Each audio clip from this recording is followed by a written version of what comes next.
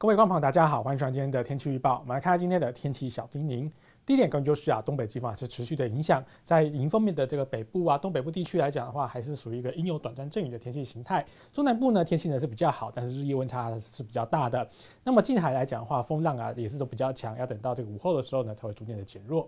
好，接下来我们来看一下卫星图上面的说明。那么同样可以看，我们台湾上来讲的话，呃，云比较多的地方还是在我们的这个基隆北岸东北角这边为主哦，这受到东北季风的影响。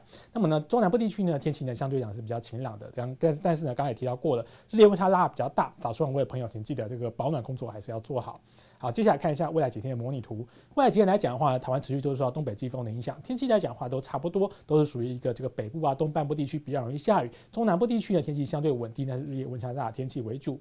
好，接下来看一下这个流场的变化。从流场呢也可以看到，主要都是东北风的影响哦，所以刚刚也提到过了，这样的地方以北部、东北部地区为主，其他各地区来讲的话，天气相对呢都会稳定，比较稳定的。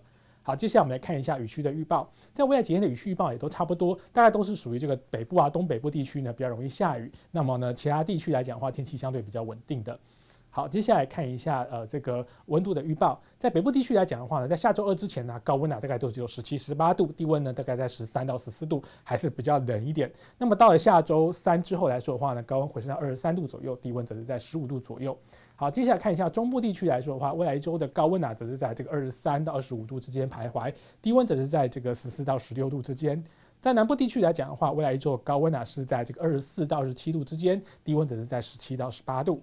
那东半部地区来说的话呢，未来一周高温呢只是在这个十九到二十四度之间徘徊，低低温呢只是在十四到十八度左右。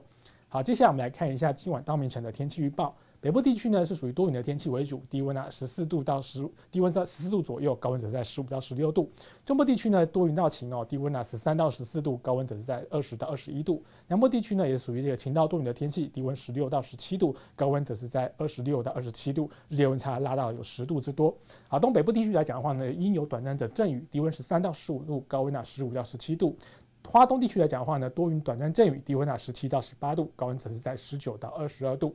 好，接下来我们来看一下明天白天的天气预报。明天白天来说的话，北部的气温大概是在这个十四到十八度到十九度之间。那么天气来讲的话，也属于阴有短暂阵雨的。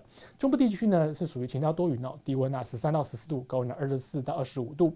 南部地区呢晴到多云，低温啊十六到十七度，高温可以来到二十六到二十八度，日夜温差拉到都有十度以上。那么呢在东北部地区呢多云有短暂的阵雨低温呢十三到十五度高温呢十七到二十度。华东地区呢阴有短暂的阵雨低温呢十七到十八度高温只是在二十二到二十五度。好以上就是今天的天气预报。